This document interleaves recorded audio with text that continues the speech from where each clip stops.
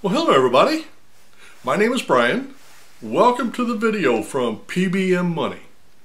Today I want to talk about something that happens anytime you are on a long goal, and that is staying motivated. Building wealth is a race, but it's a marathon. It's not a sprint. And when you when you do something that takes a long time, staying motivated is a problem. And I'll tell you what I've noticed, because I've, I've, I've taught a lot of people, and I notice that everybody in the beginning is really excited. They want to do all the things in the first month.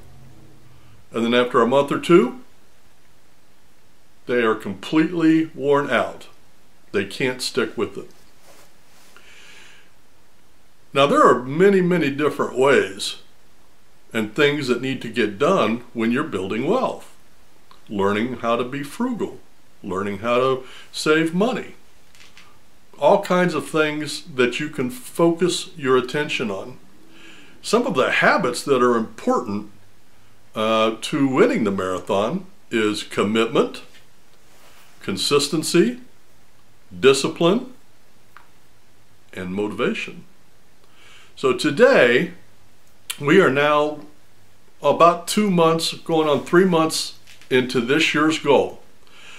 And our goal is a very lofty goal for me, anyway.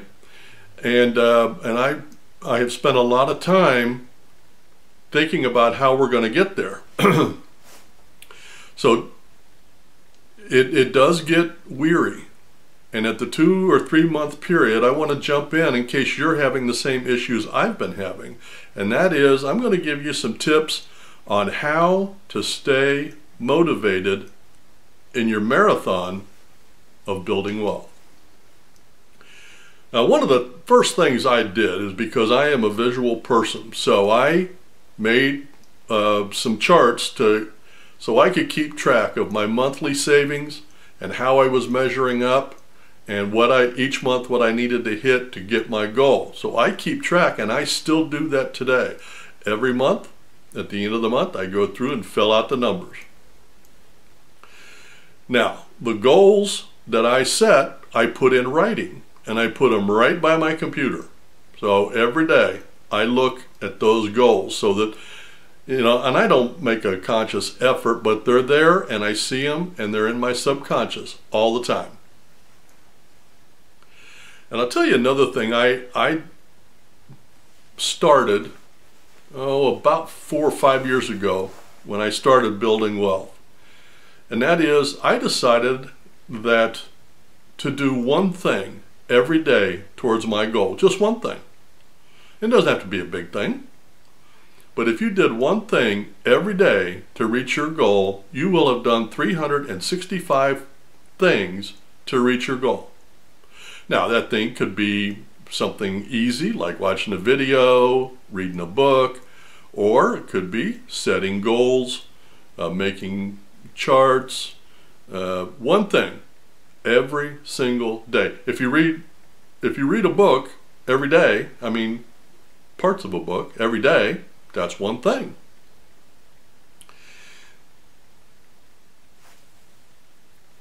Another thing that I noticed was if all I concentrated on was the big goal, which by the way, I don't think I mentioned it, my goal this year for savings is $50,000. And yes, I still make $15 an hour. but we're going to save $50,000. Now, if I think about that goal, that seems awfully daunting to me.